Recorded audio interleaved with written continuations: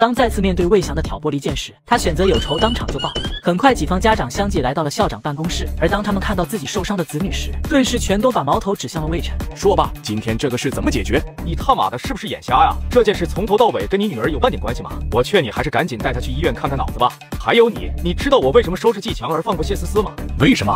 因为我就喜欢捡软柿子捏，懂了吗？此话一出，顿时所有人看向魏晨的眼神都像是在看傻子。毕竟季家在政界的实力，大家都有目共睹。你果然还是太年轻，以为捏到了软柿子，殊不知这次踢到的可是块铁板，是吗？那不知道季三叔对这个还有印象吗？当季明贤看到魏晨手中的照片后，顿时吓得脸色惨白。他没想到魏晨手里竟会有他的把柄。三叔，你怎么了？闭嘴，还不快给你魏哥道歉！人家挑拨几句你就上去当刀子，季家怎么会有你这种废物？三叔，明明是他。少废话，魏少爷教育你那是看得起我们季家，快点过来道歉。此时的季强心中纵使有千万个不愿意，却还是咬着牙走到了魏晨面前。对不起，季三叔，你有听到他说什么吗？大声点，魏少爷没听到。对不起，我也只是受人指使，是我糊涂了。好你个魏晨，今天就算是他们两人不计较此事，我也绝对不会就这么算了。刘校长，你们盛瑞高中百年清誉可不能被这种人渣给玷污了，赶紧将他开除。而刘校长此时却也不敢轻视魏晨，毕竟另外两大家族都已经选择不追究。魏夫人，你们毕竟也是一家人，不管是退学也好，转学也罢，要不你们回家商量商量。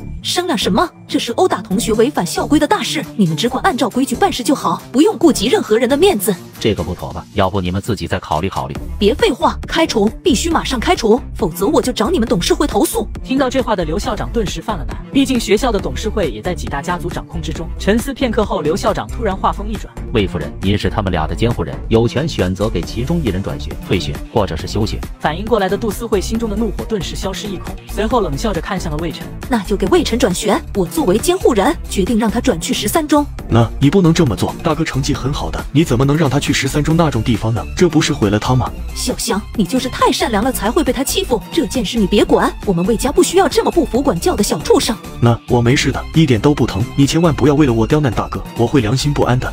此时听不下去的谢志江突然想要开溜，这件事我就不再追究了。我先带我女儿去医院看看脑子。不用了，去医院又要花不少钱，咱们家装修房子还差钱呢。如果你需要周转，可以试试抖音钱包里的放心借。打开抖音网钱包，放心借，激活额度，跟着要求申请，最高额度二十万，等资金到位还上就行。我今天既不会转学，也不会付出半点代价，我还要让魏翔去学校广播室当众道歉检讨，你信吗？小兔崽子，你到底在发什么疯？刘校长，我的要求你听见了吧？魏晨同学，学校有学校的规矩，你打人的事情人家不计较就算不错了，怎么还能提出这么过分的要求呢？放心，你会答应的。说着，魏晨走到校长的办公桌旁，随后在上面写下了几个数字。而当刘校长看清上面的数字后，顿时脸色大变。现在能办了吗？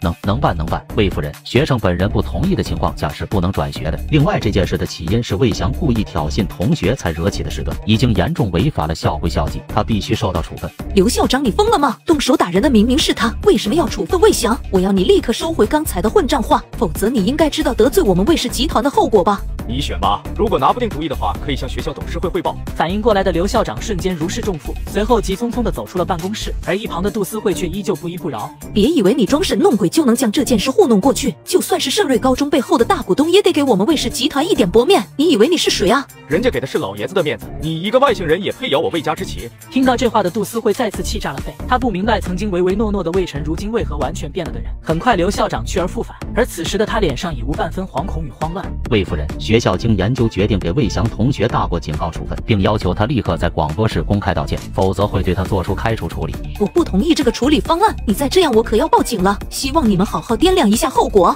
请你抓紧时间做选择，这是大老板亲自做出的指示，你报警也只是同学间的打闹，未成年该怎么处理，最终还是得由学校负责。